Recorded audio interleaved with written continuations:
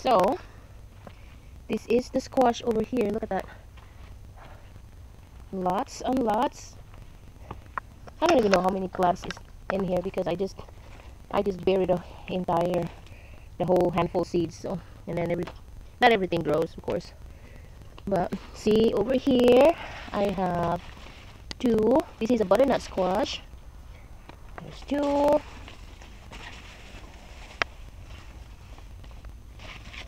three. This big one four five. There's a baby one here number six. And six.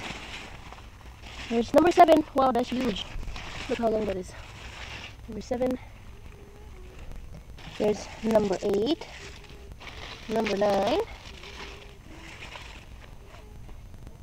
10 11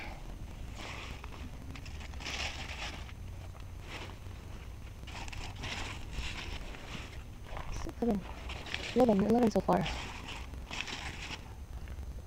I think there's like baby ones over here. Yeah, there's teeny tiny one. Small round. Number 12. So 12. There is little one, 13, 14. Let's see here.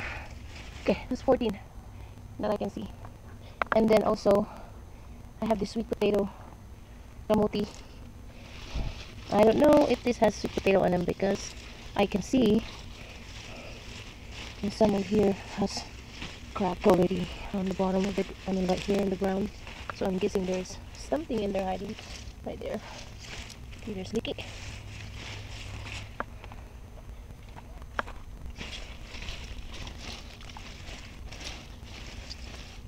see there is leaky so